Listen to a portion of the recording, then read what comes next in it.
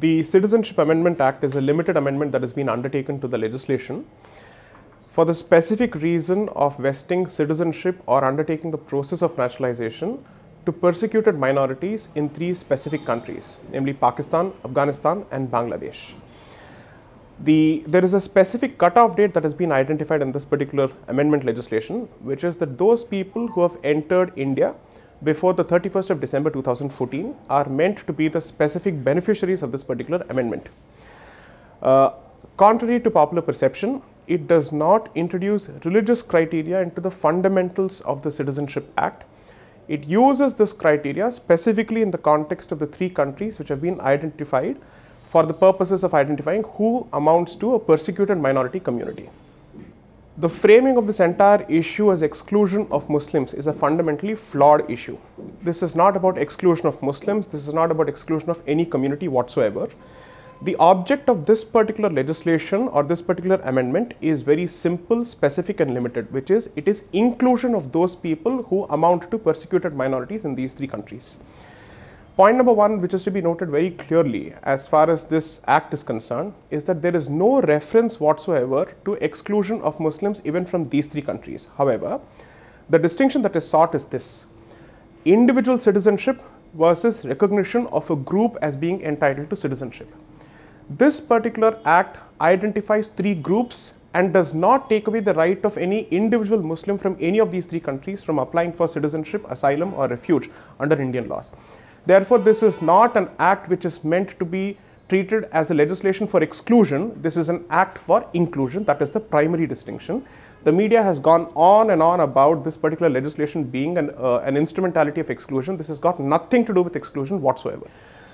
Historically, these three countries have had significant Indic populations coupled with non-Muslim populations. And there has always been a question of what is it that India is supposed to do? Does it owe any duty to those populations which suffer from any kind of persecution, specifically religious persecution in these three countries? Uh, in fact, one of the most important documents that one needs to look into for this particular purpose is the Nehru Liaquat Pact of 1950, where both these countries had specifically given each other the assurance that the religious minorities of the respective countries will be taken care of and their rights will be protected.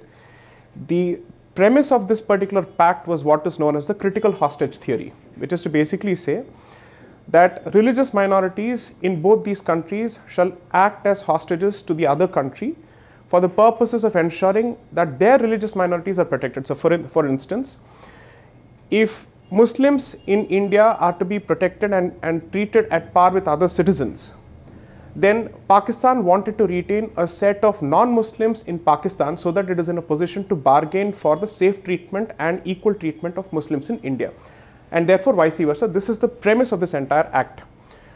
Three, as far as undivided India is concerned, prior to the partition of the country, these were all part of the same subcontinent, they were all part of the same undivided India.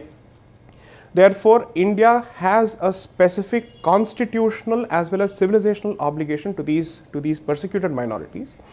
And it is a fact that prior to 1971, the population of non-Muslims in undivided Pakistan was 23 percent, which fell to 3 percent in Pakistan and 20 percent in Bangladesh post the partition. And subsequently, that number has only dwindled. So, when the argument is being made that from 1.6 percent it has increased to 1.85 percent that is the population of Hindus in Pakistan, they forget that it has fallen from 3 percent to 1.85 percent and that is the big picture that nobody talks about. Similarly, as far as Bangladesh is concerned, from 20 percent it has now come down to close to 10.7 percent if my memory serves me right. Therefore, there are only two ways or perhaps three ways in which this particular population has vanished. One, they've run away from Pakistan and Bangladesh to some other part of the world, which includes India or they've been subsumed in the population losing their non-Muslim identity, which means they've been converted. Three, they've been killed. These are the only three options possible to the best of my understanding. No other option explains the radical and revolutionary decline of their figures in both these countries. Now that takes us to the question of Afghanistan. Ever since the ugly uh, head of Talibanization reared its head in Afghanistan, it is a fact that it was set up as one of the most Islam, I mean radical Islamic regimes ever known in the history of the world. Perhaps according to me that was the predecessor to the Islamic State. And that particular regime made it a point to go after everyone who did not subscribe not just to Islam but also their version of Islam. And that's one of the reasons when Afghans were actually fleeing that country, India decided to open its doors both to Muslims as well as non Muslims. The question that can be asked is why doesn't that logic apply to Ahmadiyas and Shias in Pakistan? So why should India strike a distinction between Afghans who were fleeing Talibanization and Ahmadiyas and Shias and Sufis who are trying to flee Pakistan because they are not seen as being Muslim enough? The argument there cannot lose sight of the historical backdrop that regardless of the sectarian violence within Pakistan, each of these avowedly and admittedly Muslim uh, groups, so to speak, within the Muslim community or Muslim sects have had a specific hatred for and animus for non-Muslims, specifically idol worshippers such as Hindus. Therefore, there is no point in actually equating Ahmadiyas, Shias and Sufis of Pakistan with the Afghans who were fleeing from Talibanization. Point number two, the question that India has the legitimate right to ask, and I, I dare say it must ask, is would bringing any population from any other part of the country endanger a significant population or significant portion of the Indian population? Therefore, if Ahmadiyas, Shias, Sufis or anybody else who subscribes to Pakistani version of Islam because we believe that there is an Indian version of Islam, if they come to India with that specific animus, they pose a danger to 80% of the population at the very least. And most importantly, what people don't realize is that Indian Muslims, a significant number of them, have a problem with Bangladeshi Muslims as well because they're taking away their jobs as well. Therefore, this entire monolithic approach to this discussion, according to me, is downright stupid and ignorant of the basic facts. The only constitutional argument that is being used in this entire debate, and I would say uh, it is a downright stupid argument to anyone who understands how the constitution works, is the use of Article 14. If Article 14 is to be interpreted in the manner it actually reads, before we apply it to the question of citizenship, what it is certainly going to do is to render a thousand different schemes that bestow minorities with different treatment, with special treatment, with differential treatment, unconstitutional. That's point number one. Point number two, if this is all there is to it as far as Article 14 is concerned, then perhaps constitutional law should not be the preserve of constitutional experts. Anybody and everybody can sit and interpret a constitution basically by just reading the provision of the constitution. I don't think that's how it works. Three, Article 14 uses and applies the concept of equality by identifying which group are you applying the test of equality. Therefore, it is a question of the sample. Therefore, if there are similarly placed people, are you treating them at par with each other? That is the test of equality, but not treating unequals equally. Therefore, the trigger or the motivation behind the persecution of Ahmadiyas or Shias in Pakistan is not the trigger or the motivation behind the persecution of non-Muslim minorities in Pakistan, Afghanistan and Bangladesh. One has a sectarian basis, the other has a religious basis. Therefore, the samples are completely different. This is what amounts to what is known as a reasonable classification for the purposes of Article 14 because one, it doesn't suffer from over inclusion, it doesn't suffer from under inclusion, it specifically addresses the target audience which has been selected on the basis of an identifying metric, which is to say, who amounts to a religious minority in Pakistan and is that particular minority being persecuted on religious basis? Now, therefore, that takes you to the question, what about the Jews in Pakistan? I'd actually like to ask myself this question Are there any Jews left in Pakistan? That is the question that needs to be asked before we start inventing these speculative hypothetical questions by inventing a group whose existence has been completely destroyed in the state, in the Islamic Republic and the holy land of Pakistan. So, this argument, according to me, does not hold water.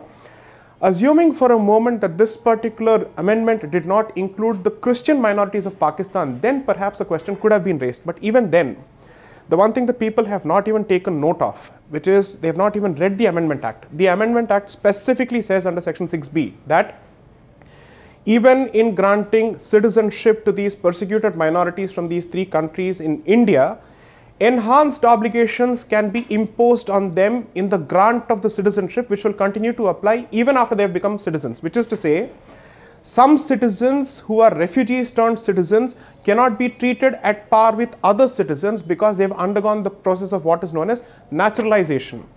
Therefore, this argument of Article 14, if it were to be applied, that means even those people, these minorities, these persecuted minorities who come from Pakistan, Afghanistan, Bangladesh, if the Article 14 logic is to be applied, India does not have the power to actually employ higher standards. Why does India have the right to employ higher standards? Simple what is the guarantee that the person who comes to India is, a, is truly a Hindu, Buddhist, Jain, Sikh, Christian? How do we know that for a fact? Therefore, if they have lied in the process of seeking naturalization or citizenship in seeking entry into India, and that lie is detected at a later point of time, then India can prosecute them apart from that until they have settled in this country and until authorities have had an opportunity to monitor their activities in this country, they shall continue to be under the radar of the government. That is why these enhanced obligations are imposed. Nobody has even highlighted this particular fact because if the Article 14 logic is applied, they, there cannot be any uh, enhanced obligations that are applied on them. Therefore, this use of Article 14 according to me is an irrational, irascible, emotional argument which has absolutely no basis in constitutional law no sane student, practitioner or let us say a follower of constitutional law can subscribe to this dumbed down version of article 14 which even the Supreme Court cannot entertain at all. Therefore, there is absolutely no basis. There could be perhaps any other challenges to the to the constitutionality of this particular legislation, but Article 14 cannot be the ground for that particular challenge. So far, I have not heard any of these detractors highlight any problem with this particular act other than the much touted Article 14. I don't think there is any basis in that particular objection at all. So the question that we have to ask dehors all the emotional points and civilizational points or rhetorical points for a moment is what is the legal position that applies to the grant of citizenship under the Indian constitution? Which are the legislations that one is supposed to look at? Point number one, Article 14 is not the provision that deals with the question of citizenship. Article 14 falls under part 3 whereas part 2 of the constitution which is articles 5 to 11 are the specific provisions that deal with the question of citizenship. Most importantly, the question of citizenship is not addressed entirely in the constitution because article 11 specifically says that the grant of citizenship shall be subject to any further law that the parliament may pass in this particular regard. One, that effectively means that it is only the union parliament or the parliament which has the power over this particular issue, it is not within the domain of the states. So the states have no other option but to follow the rule which is laid down or the law which is laid down by the parliament in this regard. That is point number one. Point number two, therefore, the law in question becomes the Citizenship Act. Therefore, Articles 5 to 11 must be read along with the Citizenship Act of 1955 coupled with the Foreigners Act of 1946 because that deals with the question of who is a foreigner as far as India is concerned. Now, then what is the interplay between these set of provisions and legislations and Article 14? Article 14 obviously does not limit its application only to citizens, it applies to non-citizens as well. There is no quarrel with that particular proposition. However, in interpreting and applying Article 14 to non-citizens and to persons who are not citizens, you have to take into account the other specific provisions that deal with the question of citizenship. Because the general principle in law is that if there is a general provision and a specific provision, that provision which has the closest proximal relationship to the issue must be the provision that must be looked at. Therefore, the provisions would be articles 5 to 11 read with the Citizenship Act and the Foreigners Act and not the uh, provision under part 3 which is article 14. The Foreigners Act effectively then takes us to NRC. The Citizenship Act takes us to the Citizenship Amendment Act of 2019. That's point number 2. Point number 3 when the parliament or rather the constitution has given the parliament the power to pass a legislation, it also means that so long as the parliament passes a legislation which grants citizenship which does not militate the spirit of 5 to 11, that particular provision or that particular amendment under the Citizenship Act must be treated as constitutional. This again takes you to the question of whether the government of India or the parliament has undertaken a certain amendment which completely revamps the Citizenship Act by saying only Hindus shall be granted citizenship in India or any non-Hindu who seeks citizenship into India shall necessarily have to convert to Hinduism. Three, that no Muslim shall be given citizenship as far as India is concerned. Or four, Indian Muslims shall be deported from this particular country. When none of these points are actually said in the Citizenship Amendment Bill or which is not even the object of the NRC which people are scared of, it is surprising that this kind of fear mongering has happened on the basis of something that has no basis in facts or law. Most importantly, the question that is being asked over and over again is if people or rather if the government undertakes a nationwide NRC and Muslims stand excluded from that particular exercise because of the product of that particular exercise and Hindus also stand excluded as a product of that particular exercise.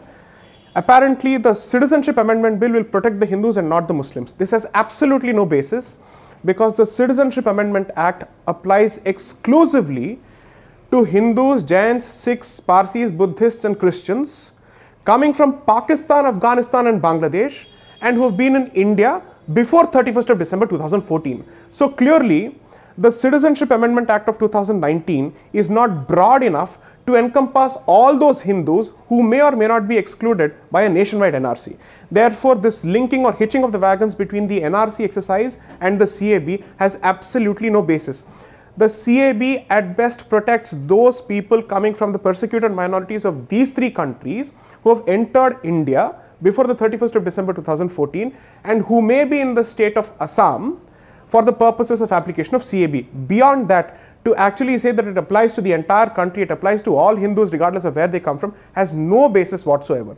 Frankly speaking, this is the express language of both these legislations, the Citizenship Act, the Foreigners Act, the Citizenship Amendment Act of 2019 and Articles 5 to 11. Those media agencies who have specifically indulged in fear mongering, having complete knowledge of this particular structure, according to me, should be taken to task at the very least by the Press Trust of India or any self regulating body. Because if you take them to court, if the government decides to do something, I'm sure people are going to say that this is an attack on freedom of speech and on freedom of media and freedom of expression, which it is not. Frankly speaking, the situation that is facing us today and the riots on the streets that we are seeing is not a consequence of the legislation but because of the fear mongering that has been indulged in by specific dramatis personae and the media has played a significant role.